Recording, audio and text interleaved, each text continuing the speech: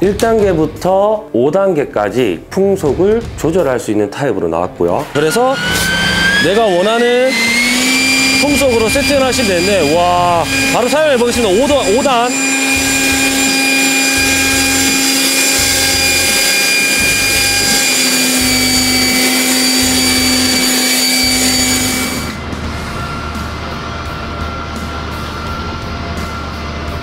칠만원 중후반 선 정도에 가 있다 보니까 큰 부담 없이 구매를 하셔서 사용을 하셔도 좋을 것 같고요. 세 분께 제가 사용해 볼 수 있는 기회를 또 드릴까 합니다.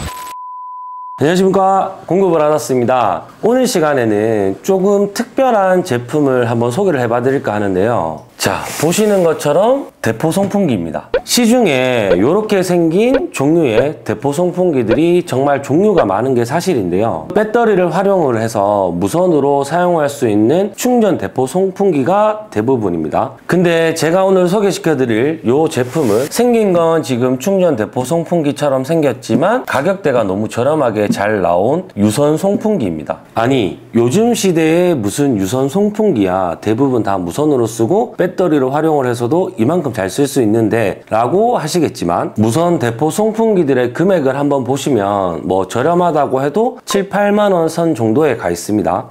근데 저렴한 금액만 보고 클릭을 해서 들어가 보면 bare tool 기준입니다. 몸체만 판매를 하는 것이죠. 그래서 배터리를 가지고 계신 분들은 무선 대포 송풍기를 구매를 하시더라도 크게 부담이 없는 게 사실이지만 내가 지금 가지고 있는 전동 공구 배터리가 없다면 이 bare tool과 배터리 충전기 풀세트로 사기에는 아직까지는 금액대가 조금 부담스러운 게 사실이거든요. 그래서 전기가 없는 곳에서는 사용하기가 조금 어려운 게 사실이지만 전기를 사용할 수 있는 공간만 있다면 7만 원 정도를 투자해서 대포 송풍기라는 강력한 바람을 뿜어내면서 전선의 길이가 10m가 되다 보니까 넓은 반경에서 사용을 할 수 있는 제품이라서 또 소개를 해드리면 분명히 도움이 되실 것 같아서 오늘 지금 제가 영상을 촬영하고 있고요. 우선 유선 공구를 정말 가성비 좋게 잘 만들어내는 DCA 브랜드에서 출시를 했고요. 모델은 AQF120이라는 모델로 출시를 했습니다. 1단계부터 5단계까지 풍속을 조절할 수 있는 타입으로 나왔고요. 1단에서는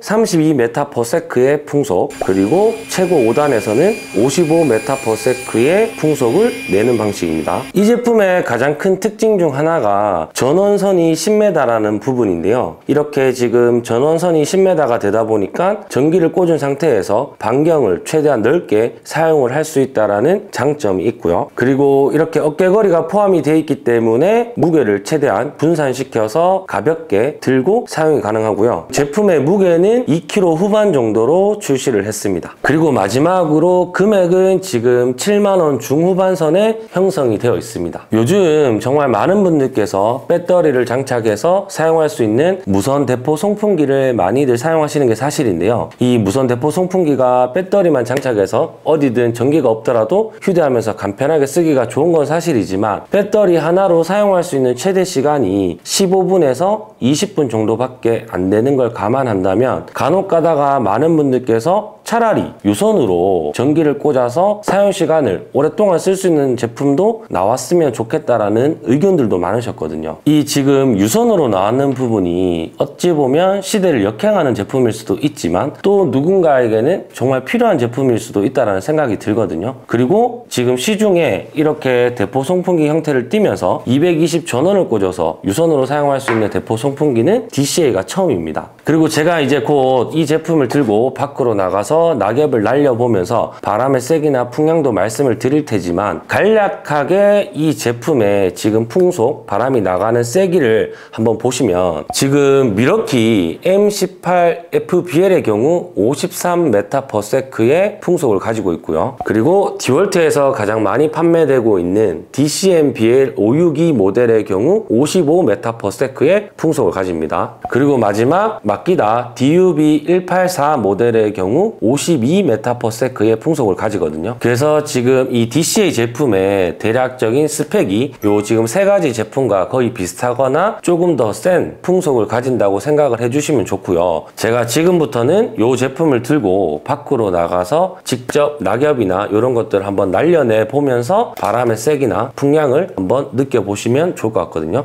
가보시죠! 제가 이제 직접 사용하기 위해서 밖으로 나왔습니다. 오늘 날씨가 굉장히 춥습니다. 네. 제가 예전 같았으면 분명히 이렇게 전기가 없는 환경에서 전기를 필요로 할 때 발전기를 가져왔을 텐데 오늘은 제가 이렇게 지금 파워뱅크에다가 연결을 하였고요. 이게 1200W다 보니까 1300W까지 쓸 수 있는 파워뱅크면 충분히 사용 가능합니다. 그리고 어깨끈이 들어있기 때문에 사용을 하실 때 나에게 맞는 길이로 조절한 다음에 자, 이렇게 어깨에다가 무게를 분산시켜 줘도 좋고요. 아까 말씀드린 것처럼 전선의 길이가 지금 보시는 것처럼 10m입니다 10m 그래서 전원 코드를 꽂아 놓고 움직인다고 하더라도 생각보다는 반경을 넓게 사용을 할 수가 있습니다. 그리고 사용하는 방법은 굉장히 간단했는데요. 여기 지금 풍속 조절 레바를 1단으로 옮기는 순간에 바로 전원이 켜집니다. 그래서 내가 원하는 풍속으로 세팅을 하시면 되는데 와 바로 사용해 보겠습니다. 5단, 5단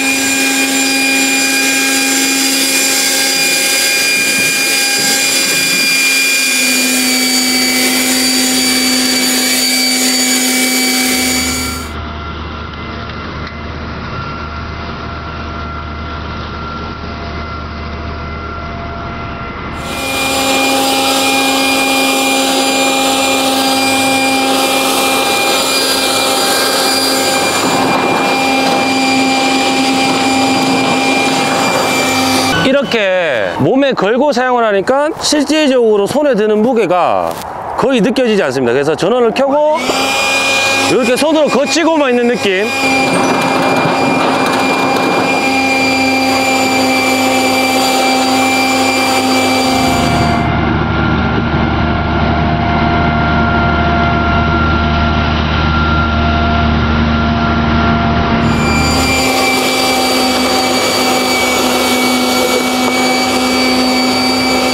요즘은 이렇게 밖에서 power bank를 들고 다니시는 분들이 많으신데요. 이렇게 power bank에 연결을 한다고 생각했을 때 반지름이 10m인 원의 반경으로 넓게 사용을 할 수가 있습니다. 그래서 지금 대략적으로 사용을 해봤을 때 제가 이전에 정말 많은 충전 대포 송풍기들을 사용을 해봤었는데 18V 충전 대포 송풍기보다는 확실히 풍량이 센 것 같았습니다. 그리고 이렇게 220 전원을 연결해야 되기 때문에 전기가 없는 곳에서는 사용을 못하지만 전기만 이렇게 주어진다면 시간의 구애를 받지 않고 이 정도 풍량으로 10m 반지름을 가진 원을 그리면서 혹은 콘센트에 꽂았다면 반원을 그리면서 사용을 할 수가 있다 이렇게 봐주시면 좋을 것 같고요 이번에도 대구에서는 눈이 안 와서 제가 광주에 엄청난 눈이 내렸을 때 직접 한번 사용하는 모습을 부탁을 드려서 제가 이렇게 촬영을 해봤는데요.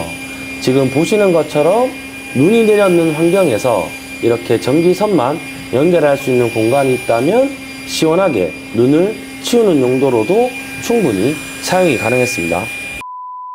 자 이제 제가 이렇게 사용을 하고 와봤는데요. 사용을 하고 나서 느낀 점을 간략하게 조금 말씀을 드리면 일단 유선이라서 그런지 시중에 나와 있는 18V 대포 송풍기보다는 풍량이나 풍속이 조금 세다고 느껴졌습니다. 그리고 계속 사용하면서 처음에는 제가 어깨끈을 사용하지 않고 그냥 들고 사용을 하니까 한 5분에서 10분 정도 넘어가니까 손이 좀 무겁다라는 느낌을 받았었는데 어깨끈을 착용하니까 제 몸이 들어주게 되고 손에는 이렇게 가볍게 사용을 하게 되니까 훨씬 더 무게를 느끼지 않고 편리하게 사용이 가능하더라고요. 그래서 이 어깨끈이 굉장히 사소해 보이지만 사용할 때 굉장히 편리하게 사용할 수 있도록 해줬었고요. 그리고 지금 유선으로 10m까지 전선의 길이를 늘려놨는 부분이 굳이 멀티탭이나 전선리를 들고 다니지 않더라도 웬만큼 넓은 반경을 사용할 수 있도록 해주었습니다. 그리고 사용을 하고 나셔서 이 전선이 길다 보니까 정리하기가 조금 어려울 수도 있는데요. 이 전선을 이 앞쪽 손잡이 부분을 통해서 이렇게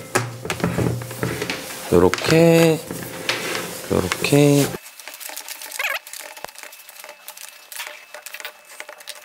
이렇게 감아서 보관을 하시면 되겠더라고요. 평소에 전기가 있는 상황에서 조금 강한 바람으로 오랫동안 바람을 불어내는 용도로 송풍기를 사용하고 싶어 하셨던 분들한테는 분명히 오늘 영상이 도움이 될 것 같고요. 그리고 지금 금액이 7만원 중후반 선 정도에 가 있다 보니까 큰 부담 없이 구매를 하셔서 전기를 꽂아서 바람을 불어내시는데 사용을 하셔도 좋을 것 같고요. 그리고 한 가지 조금 아쉬웠던 부분은 지금 시중에 나오는 대포 송풍기들의 대부분이 흡입 기 능이 포함이 되어 있습니다. 근데 아쉽게도 지금 이 제품은 흡입 기능은 없었고요. 앞으로 바람을 불어내는 기능만 있었으니까 이 부분도 체크를 해주시면 좋을 것 같고요. 그리고 오늘 영상을 보시고 이 제품을 한번 사용해보고 싶다고 하시는 분들에게 세 분께 제가 사용해볼 수 있는 기회를 또 드릴까 합니다. 늘 하셨듯이 영상 하단에 링크를 터치하시거나 클릭하시고 집 주소, 성함, 전화번호를 남겨주시면 신청이 완료되니까 많은 분들께서 또 참여를 해주셨으면 좋겠고요. 제가 작년 연말쯤에 저희 채널 커뮤니티에 설문지를 통해서 얻어내는 결론으로 저희 구독자분들, 시청자분들께서 가성비가 괜찮은 공구를 많이 소개를 시켜줬으면 좋겠다라는 의견들이 많으셨거든요. 그 이후부터는 이렇게 가성비가 괜찮으면서 사용하기 편리한 공구들을 제가 최대한 많이 소개시켜 드리려고 노력하고 있거든요. 그래서 앞으로도 어떤 공구 관련 컨텐츠를 보고 싶다라는 부분이 있으시면은 제 영상 댓글로 남겨주시면 제가 꼼꼼히 읽고 최대한 그